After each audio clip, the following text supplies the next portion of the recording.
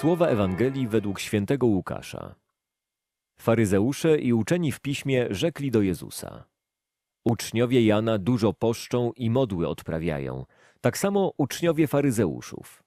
Twoi zaś jedzą i piją. Jezus rzekł do nich: Czy możecie gości weselnych nakłonić do postu, dopóki pan młody jest z nimi?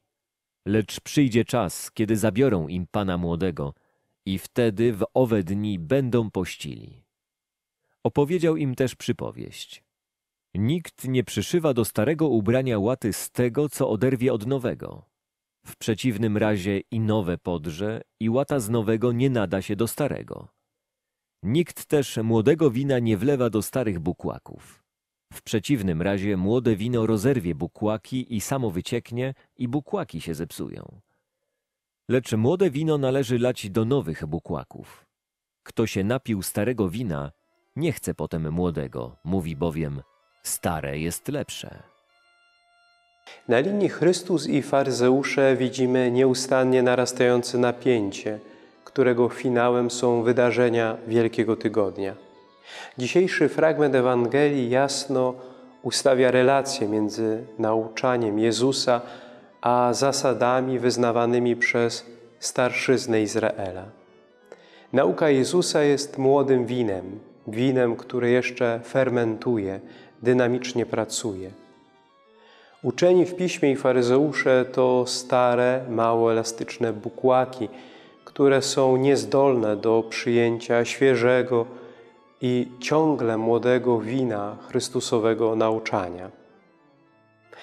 Aby wyrobić w sobie zdolność przyjmowania nowości Chrystusowej Ewangelii, trzeba stać się nowym człowiekiem, niejako na nowo się narodzić, stać się jak dziecko.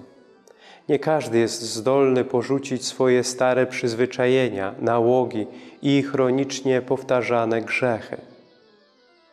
Potrzeba wielkiej odwagi i zaufania wobec Jezusa, aby zdecydować się na ten krok.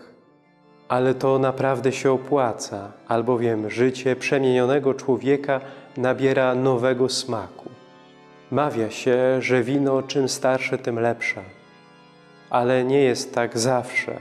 Jezus w Kanie Galilejskiej pokazuje, że nowe wino, które zostało podane na stół weselny po cudownej przemianie, jest równie dobre albo może nawet lepsze niż to stare. Dobra nowina, chociaż jest młodym winem, jest o wiele lepsza niż jakakolwiek inna nauka. Nie bądźmy starymi bukłakami, skostniałymi i odpornymi na burzliwe działanie młodego wina Ewangelii. Stawajmy się nowymi ludźmi, otwartymi na nowość dobrej nowiny i z łatwością poddającymi się jej wymaganiom.